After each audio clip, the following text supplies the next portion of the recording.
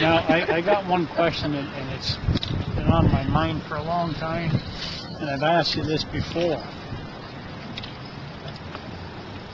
When we had Fantino on the ropes, why didn't you file that police complaint against him? So now I'm over here to talk about Fantino. First of all, uh, hang on. First of all, I'm coming over here to talk about this mo- the my, my, my, most in the pop. like, See, we could have had these guys on the ropes now. Merlyn. I come over here to talk about one i- i- issue. Now, now I'm talking about 20 different. Well, you're a politician, you gotta talk about everything. Did I file? No. You already know the answer. Pardon? Did I file? No, you already know the answer, Merlyn. Yeah, but, but Why- why not? Toronto. There's no What's that? why not?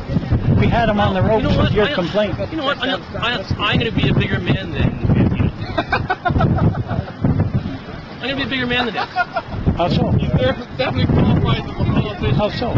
How so? Yeah. He, he went off. He he went off. And you know what? He, he, he he's going to stand by what he said, and I'm going to stand by what I say, and, that, and that's it. I'm not here to be responsible to Fantino. I'm here to be responsible to my community. And if and if I don't do my my my job that the community wants me to do in three years from now, they'll make they'll say, Craig, thanks but no thanks. If that if that's what it ends up being, that's what ends up being.